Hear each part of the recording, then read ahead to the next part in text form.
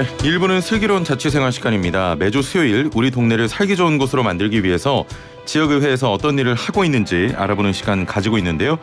자, 아플 때는 병원까지 가는 것도 쉽지 않은데 만약 먼 거리에 병원까지 가지 않아도 집에서 진료를 받을 수 있다면 환자 입장에서는 많은 수고를 덜 수 있을 것 같습니다. 자, 그런데 이게 가능할까 싶기도 한데요. 경기도에서 이런 재택의료 센터에 대한 조례안이 마련됐다고 합니다. 자세한 내용 조례안 대표 발의한 경기도 의회 원미정 의원 전화 연결해 들어보겠습니다. 의원님 나와 계시죠? 네, 안녕하세요. 안산시를 지역구로 하고 있는 원미정 경기도의원입니다. 아, 네, 반갑습니다. 예. 네. 아, 지금 단계적 일상 회복이 시행이 됐는데 좀 긴장도 되면서 설레기도 하시겠어요? 네, 많은 기대들을 하고 있죠, 현장에서는. 네. 음. 자, 알겠습니다. 본격적으로 이야기 나눠보죠. 어, 재택 의료센터라는 게 어떤 것인지 궁금한데 어, 드라마에서 회장님 댁에 주치의가 방문하듯이 집에 그 의사 선생님들이 오시는 겁니까? 네, 재택의료센터를 간단하게 설명드릴게요. 예, 예. 그 의원이 보건소 등의 의료기관 내에요 전담 팀을 구성을 해서 고령자와 거동이 불편한 환자 등을 직접 어, 집으로 방문해서 의료 돌봄 서비스를 주기적으로 제공하는 것인데요. 예. 어, 센터가 도입을 하면 돌봄이 필요한 사람들의 이제 본인이 거주하는 공간에서 진료를 받을 수 있게 됩니다. 음흠. 앞에서 말씀하신 것처럼 뭐 왕진 선생님이나 주치의 방문 서비스도 예, 포함이 된다고 할 수 있습니다. 예. 어, 현재 그 단계적 일상 회복 상황에서 코로나19 재택 치료가 진행되고 있지 않습니까? 네, 네. 좀 유사한 방식이라고 보면 될까요? 아, 네, 크게는 이제 주거 공간에서 예. 치료를 받는다는 의미에서는 유사한데요. 음흠. 아, 코로나19 재택 치료는 어, 코로나19 환자가 이제 급증하고 있잖아요. 예. 그래서 어, 병상의 문제가 생겼습니다. 그것을 음. 해소하기 위해서 그 무증상이나 경증 환자를 대상으로 해서 예. 어, 상담이나 또 주기적 건강 모니터링 그리고 진료 지원을 재택에서 받는 것인데요. 어, 현재 지자체하고 병원하고 협약을 통해서 서비스를 지원하, 어, 지원을 하는 것입니다. 예, 예. 아, 그런데 재택의료센터는 앞에서 말씀드린 것처럼 고령자나 거동불편 환자 등의 이제 의료 취약계층들에게 예. 아, 의사, 간호사, 뭐 재활치료사, 때로는 물리치료사, 상담사 등 이렇게 팀플레이로 음. 구성을 해서 어, 진료 서비스, 치료를 하기 위한 진료 예. 서비스를 집으로 찾아가서 제공한다는 점에서 좀 더 전문적이고 예. 어, 좀더 포괄적이라고 말할 수 있을 것 같습니다. 그렇군요. 그러면 그 이용하시는 분들은 고령자나 취약계층이 대상일까요? 네, 네. 주로 이제 거동이 불편하신 노인분들하고 예. 또 거동이 불편하신 장애인, 또 만성질환, 아, 당뇨병 환자분들이나 또 분만 취약지 임산부들, 그러니까 음흠. 어, 산부인과 별로 없는 곳이나 예. 그다음에 재활 환자 그리고 조기 퇴원, 장기 퇴, 어, 입원을 했다가 조기 퇴원할 수밖에 없는 환자들 예. 이런 분들이 주로 서비스 대상이 될 것 같습니다. 예. 어, 의원님 말씀 저 들어보니까 굉장히 좋네요. 네, 꼭 필요하죠. 어, 그 재택 의료라는 말만 들으면 가정에서 네네. 돌봄 인력이 없어서 요양원 등 시설에 의지하기도 하는데 네. 어, 어떻게 보면 좀 이용하는 분들이 오히려 불편하지 않을까 이런 우려도 있거든요. 아, 이제 대상자가 예. 그러니까 중증으로 이제 입원이 필요한 분들은 예. 요양병원이나 이제 요양기관에서 치료를 받게 되는 거고요. 음흠. 어, 이제 집에서 거동 웬만큼은 좀 거동하실 수 있지만 예. 어, 재가노인 복지센터를 통해서 이제 요양보호사 파견, 시간 파견을 받아서 서비스를 받을 정도의 그런 고령 노인들이 이제 사고나 여러 질환으로 인해서 치료가 예. 필요한 경우에 돌봄을 받게 됩니다. 음흠. 어, 우리 한국 사회가 이제 2025년, 26년이면 초고령 사회로 진입을 할 것으로 예상을 하고 있어요. 예, 예. 그래서 이제 고령 인구가 급속도로 늘어날 것으로 예상을 하고 있잖아요. 예. 음, 그래서 정부는 어, 우리 고령층을 대상으로 건강권을 보장하고 또 국가 재정을 또 지속 가능성을 높이기 위해서는 어, 대책을 마련해야 합니다. 아, 지자체도 예. 마찬가지로 이제 대책을 마련해야 되고요. 그래서 재택으로는 초기에 아, 초기에 병을 예방하고 관리하는 서비스고요. 음. 그래서 불필요한 입원을 줄여서 거동 불편 환자가 중증으로 병원에 못 가서 참다 참다 중증으로 병을 키워서 입원하는 것들을 예방을 해주기 때문에 예. 아 그리고 또 지역 사회에 있는 각종 돌봄 서비스하고 지원 체계를 이렇게 연동을 해서 재택의료 서비스하고 연계해서 제공을 하기 때문에 어, 굉장히 어르신들의 건강 증진과 예. 또 어, 결과적으로 또 의료 비용을 절약할 수 있는 효과를 가져올 수 있습니다. 예. 실제로 현재 운영되고 있는 사례도 있을까요? 음, 네, 네. 그 우리 이제 보건복지부의 시범 사업으로 1차 의료 방문 어, 수가 시범 사업하고 예, 예. 그다음에 재택 의료 시범 사업은 하고 있고요. 어, 병원과 연계해서 그리고 민간에서도 우리 안산의료복지 사회적 협동조합이 방문 주치 사업하고 예. 재택 의료 센터 운영을 합니다. 아, 이거는 이제 지역사회 통합 돌봄 시범 사업으로 진행을 하고 있고요. 예. 또 민간 일가, 어, 1차 의료기관에서는 또 집으로 재택의료 의원이라는 것들을 운영하는 곳이 있어요. 음흠. 그리고 또 서울 중구에서도 어, 집으로 찾아가는 재택의료 서비스라는 서비스를 하고 있는데요. 예. 음, 1차 의료기관 네, 네 곳하고 협약을 맺어서 진행을 합니다. 예, 예. 네.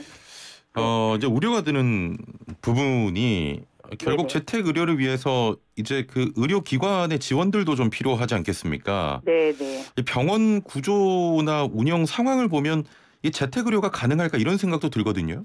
음, 그러니까 현재 시스템으로는 예. 병원에서 진료하고 치료하는 어, 시스템으로 되어 있잖아요. 예. 그래서 이제 복지부가 2019년 10월 30일에 재택의료와 관련한 국민건강보험 및 시행규칙 개정안에 따라서 어, 후속 조치로 재택의료 활성화 추진 계획을 발표를 했습니다. 예, 예. 아, 그래서 복지부가 재택의료 지원 제도를 체계화해서 이제 고령 노인이나 만성 질환 어, 환자 등 어, 우리 거동이 불편한 환자들의 의료 접근성을 높이겠다. 예. 그리고 국민의 다양한 의료적 수요에 대응하기 위해서는 재택의료 활성화 추진 계획을 마련하겠다 이렇게 발표를 했어요. 음.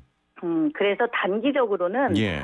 어, 재택의료 센터가 이제 지정이 되면 운영비를 지원하게 됩니다. 예. 인건비하고 사업비를 지원해서 어, 최소의 재택의료 서비스 건수를 책정해서 환자들이 이제 관리할 수 있도록 예. 하는 식으로 이제 운영을 해보려고 계획을 하고 있고요. 예. 중장기적으로는 이제 수가 모형을 개발을 해야 돼요. 의료 수가로 지정하는 음. 부분들. 예. 아, 그래서 이제 초기 상담이나 교육이나 교육 수립, 또 예. 협력 어, 연계 등의 그런 수가 모형 체계를 마련을 해야 되고요. 예, 예. 단기적으로는 이제 수가도 지정해주고 어, 운영비 지원을 통해서 아. 재택 의료가 활발하게 활성화될 수 있도록 예. 이렇게 아, 연구를 하고 있습니다. 예산 문제는 괜찮습니까?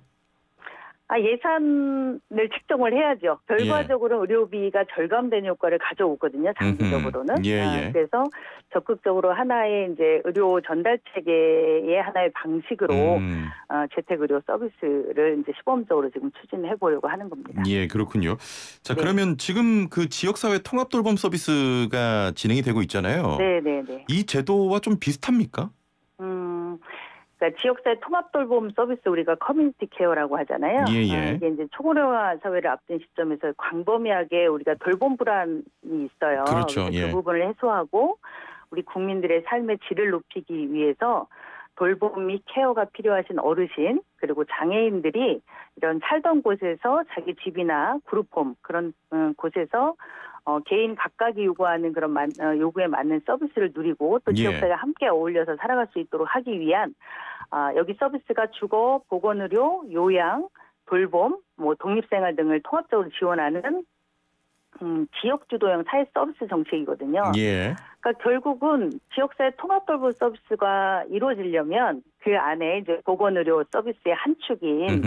아, 동네 병원이나 보건소 등에서 이제 예. 재택의료 서비스 기능을 활성화시켜야 지역사회 통합 돌봄이 완성된다라고 생각을 합니다. 예. 자, 이번에 전국 최초로 재택의료센터 지정과 지원 관련 조례를 발표하셨는데 조례안 네, 네. 저 설명을 좀 해주세요. 음, 네, 우리 이제 앞서서 많이 말씀드렸는데요. 우리가 점점 평균 수명이 증가하고 있잖아요. 예. 그래서 초고령화 사회로 진입을 하고 있어서 국가 차원에서도 또 지자체 차원에서도 대책이 필요하다고 생각을 음, 했습니다. 예. 아, 그리고 이제 노화나 사고, 질환, 장애 등으로 이제 의료 서비스를 예. 어, 적절하게 에, 받지 못하는 어, 그런 분들이 어, 평소에 자기가 살고 있던 곳에서 의료 음흠. 서비스를 비롯해서 이제 돌봄 서비스를 받고 싶어 하는 욕구들이 높아요.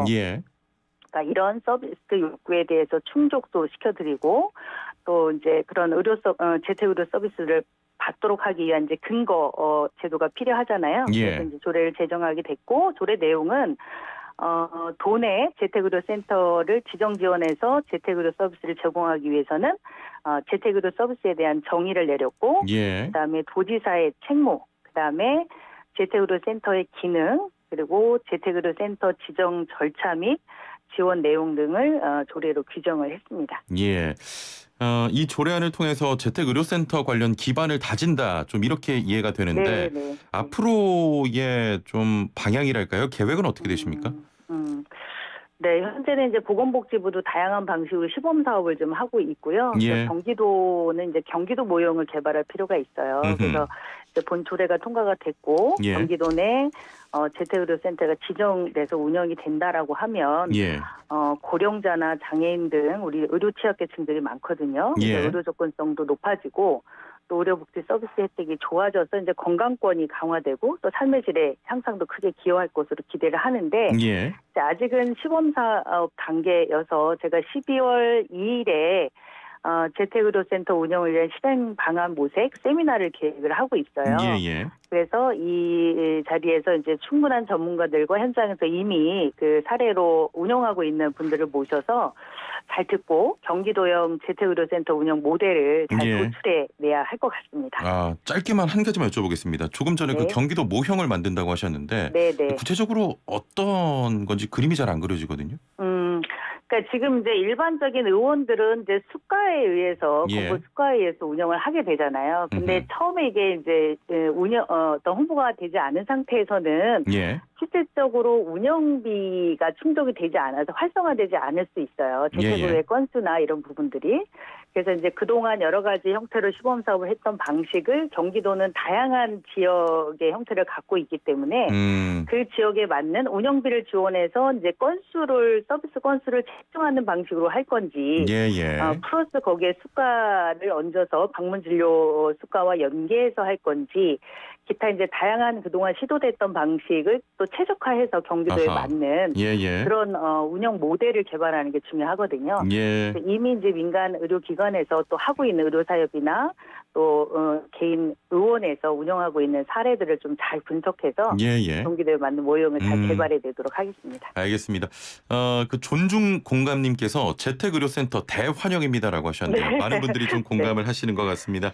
자, 오늘 네, 말씀 네. 여기까지 듣도록 하겠습니다. 감사합니다. 네, 고맙습니다. 네, 지금까지 경기도 의회 원미정 의원과 함께했습니다.